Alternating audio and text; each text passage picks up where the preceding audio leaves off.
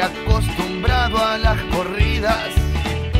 la vergüenza ya le pisa los talones.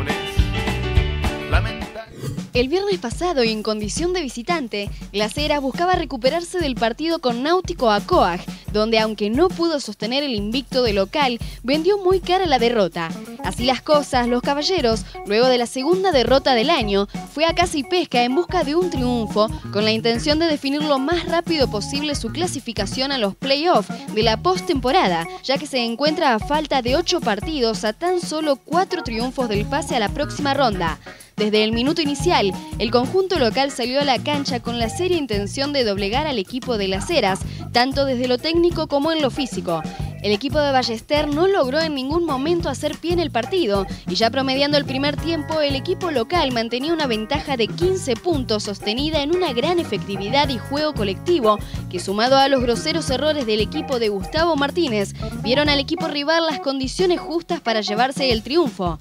Así las cosas, el equipo visitante no logró levantar cabeza y sufrió una derrota inesperada si se tiene en cuenta los antecedentes con los cuales se llegaba al partido. Pero el básquet es así y los partidos hay que jugarlos todos. Ahora será tiempo de la vuelta a casa este viernes para seguir sumando para llegar de la mejor manera a los playoffs, donde en definitiva se hablará en serio y no habrá lugar para los errores ante San Fernando, que impone fuerte su ritmo de juego.